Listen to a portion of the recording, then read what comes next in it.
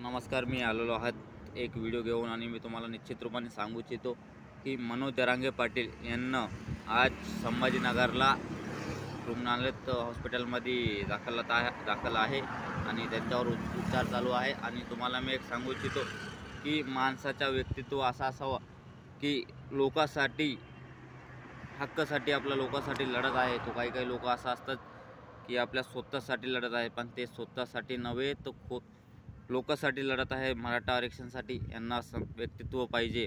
हे छत्रपतीचे मावळे आहेत. मनोज जरांगे पाटील यांनी दाखवून दिलेले आहे. सारी सरकारला त्यांनी रिंगणात येऊन दाखवून दिलेलं आहे की आपण बी कोणापक्ष मराठा एक मराठा लाख मराठा त्यांनी सांगून दिलेलं आहे की याच्या मराठाचा अर्थ काय आहे? एक वीस मराठा पेटल्यावर काय होऊ शकतं? आता तुम्ही बघू इच्छिता की मराठा आरक्षणासाठी त्यांनी खूप दिवस लढाई घेतलेली आहे आणि त्यांनी आता काही टप्प्यातच आरक्षण आणून ठेवलेलं आहे. आता दोन जानेवारी आरक्षण मिळणार आहे आपल्याला.